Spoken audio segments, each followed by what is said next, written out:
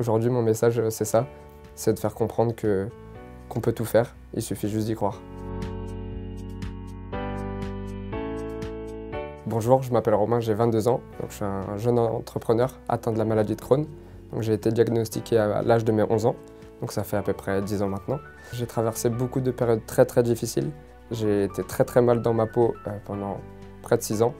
Euh, j'avais une fréquence aux toilettes qui était de 30 à 40 fois par jour, donc j'avais euh, pas de vie, j'étais complètement isolé, je me sentais vraiment mal.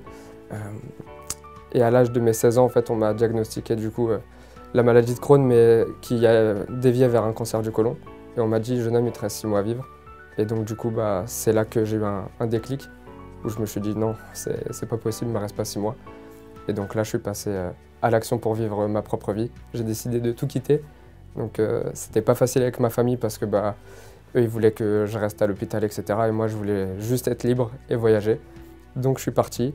C'était un petit peu inconscient, mais euh, d'un autre côté, c'était le, meilleur choix de ma vie parce que bah, je suis parti en voyage, j'ai découvert d'autres choses, j'allais beaucoup mieux en voyage et euh, j'ai commencé à partager tout ça en fait sur les réseaux sociaux. Ça a créé une petite communauté et j'ai découvert qu'avec avec cette communauté, je pouvais faire pas mal de choses. Donc du coup, bah, j'ai développé des compétences sur les réseaux sociaux et euh, ce qui m'a permis de voyager un peu partout grâce à Instagram notamment. Si vous avez des rêves, bah, n'hésitez pas à, les vivre et à y croire enfin. Parce que tout le monde peut vivre ses rêves, euh, il suffit juste d'y croire.